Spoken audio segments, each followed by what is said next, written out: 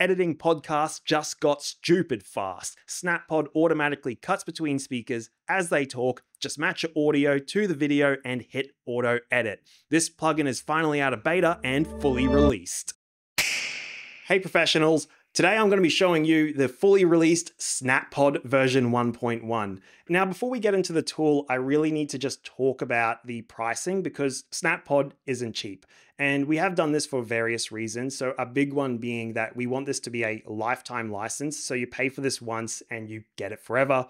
And so the price is $250 USD. For a lot of people, that might be a bit of a sticker shock, and I totally understand and I sympathize with you. Now, in saying that, I do fully believe in this price. I've talked to a lot of editors through my Discord, interacting with them on YouTube, getting to understand and learn how their business works. And for the vast majority of them, SnapPod is going to save way more time than what $250 is worth to them. Now, in saying that, if this isn't worth it to you from what you can see, what I can say is do join our Discord and have a talk in the Profit Chat room. It's a completely free space where editors get to ask questions on what they're struggling with in their business and how to move it forward.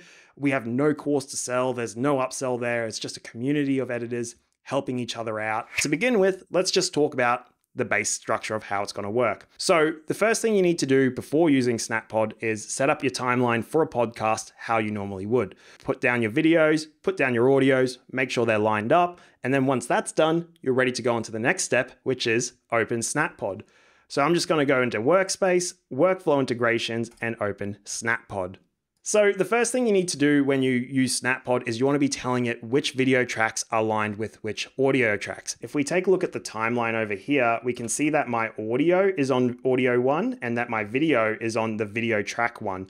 So in the first section here, I'm just going to put in video one, audio one, and then in the second tracks, you'll see we've got the awesome Kari QHD. You should definitely check out his YouTube channel.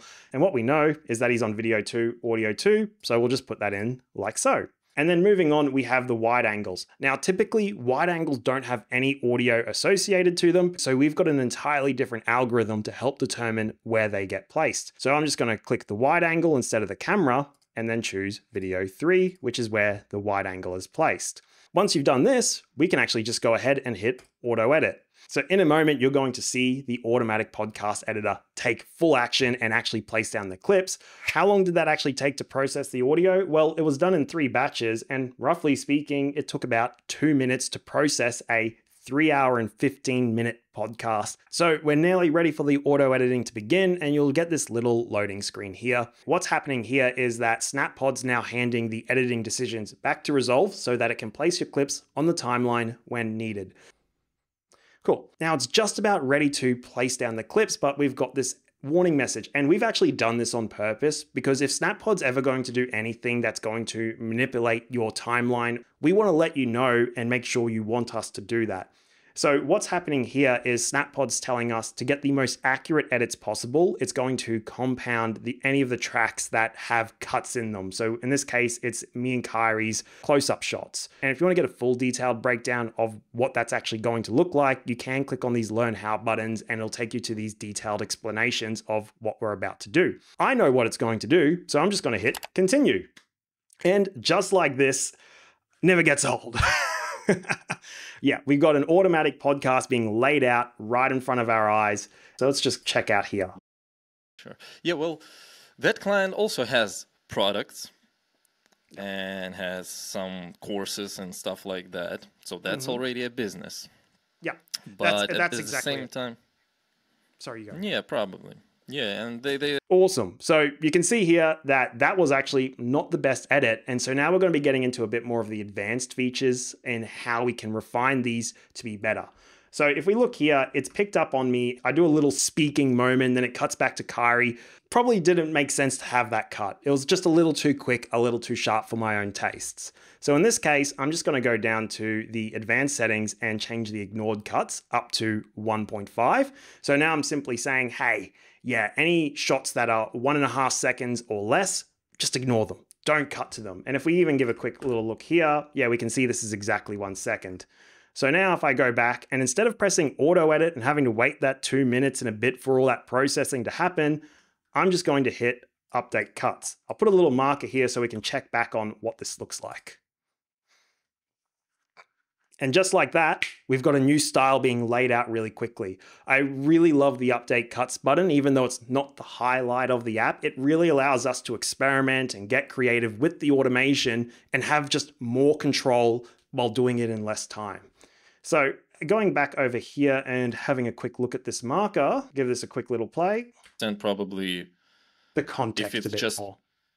Yeah, yeah, yeah. That's looking a lot better already. Let's run into another thing you might be thinking. It's really hard to review this because when we zoom out, everything's laid out on a single track. So I'm just going to clear this one so we can have a more clear view. And I'm going to change the mode from single track to multi-track. And again, just hit update cuts because we've already processed and analyzed the audio. And now if we take a look and zoom in on this, you can see here that it's actually laying out each video clip on its own unique track, which now gives us a really good visual indication of who's speaking when and how long they're showing up. And it really just makes editing a whole lot easier for me. So let's get into more of these advanced features and how it's going to make sure the automation edits to your style and actually saves you time.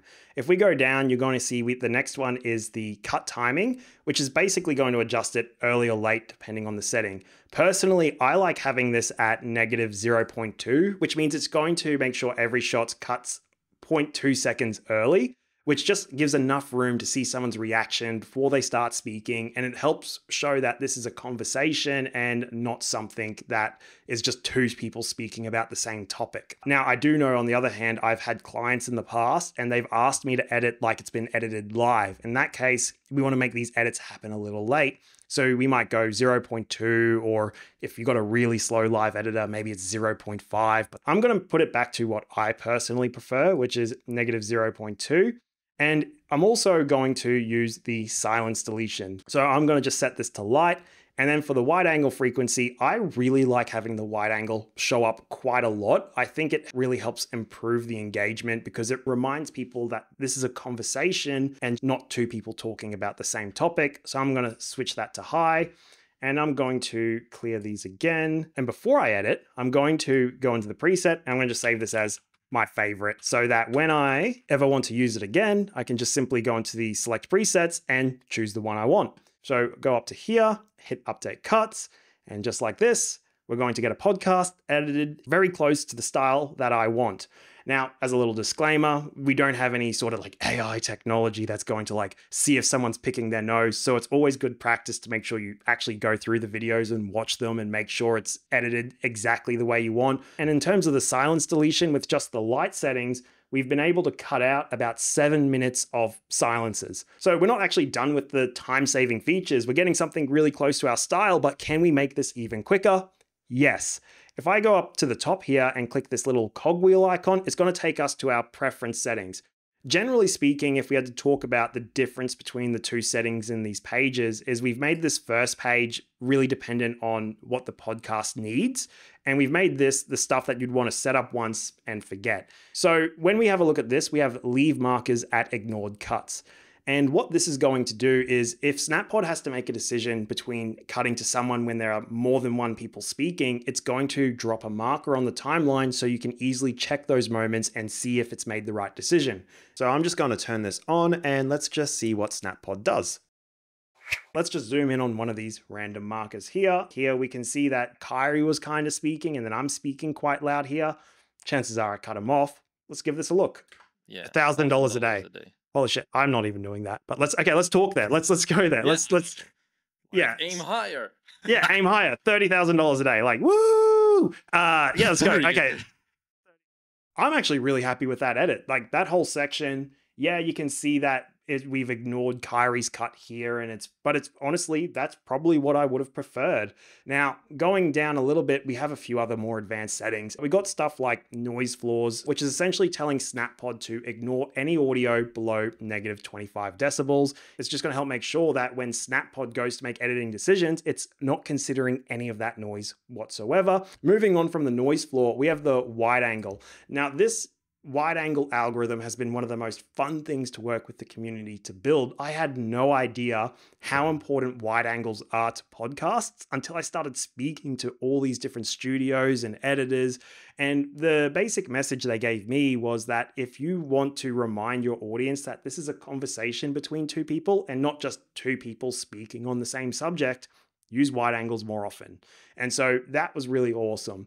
Saying on top of this, though, we do want to expand upon this wide algorithm to make it even more customizable. So having things like if two people are speaking really loudly, cut to the wide angle, or if you want to have it say every 15 seconds is a wide angle, then a 15 second gap, then a 15 second wide angle. There are plenty of you that like that style. We are looking at putting that in. So even though this is the full release of SnapPod, we are not done building the features out and making it this the best podcast editing tool you can ever have. Moving on to this one, it's pretty simple, but again, saves you a lot of time, so worth knowing about. And this is basically going to be your default track layout. So this is going to make sure that if you're editing the same kind of podcast day in, day out, that you're able to not have to set this up every single time. Say you have these two cameras and a wide angle is I'm just going to add one more camera. I'm going to add a wide angle. I'm just going to line them up the way I just did at the beginning of this video. And I'm just going to hit save track layout. So now every time we go to open and close SnapPod, you're going to see right here that our preferred track has been already loaded up, just helping save a little bit more time. So with those features out of the way, I probably need to talk about something that's even more important, and that's the people who helped fund and build this product, which was the early adopters, the beta testers.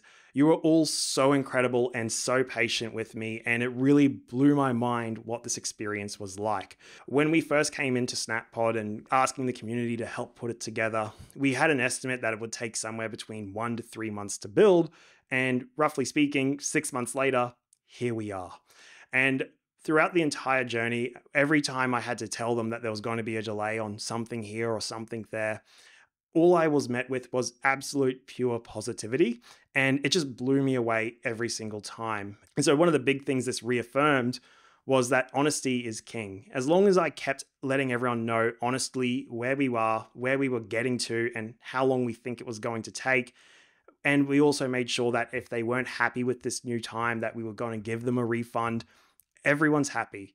And even though I was offering that, I was still expecting some level of backlash, but I just never got it. And I cannot thank the community enough. And all I can say from this is that the DaVinci Resolve community is the fucking best. like, you guys, absolutely incredible. And I'm definitely not going anywhere anytime soon. I am so excited to keep building more tools like this. So until next time, happy editing, everyone.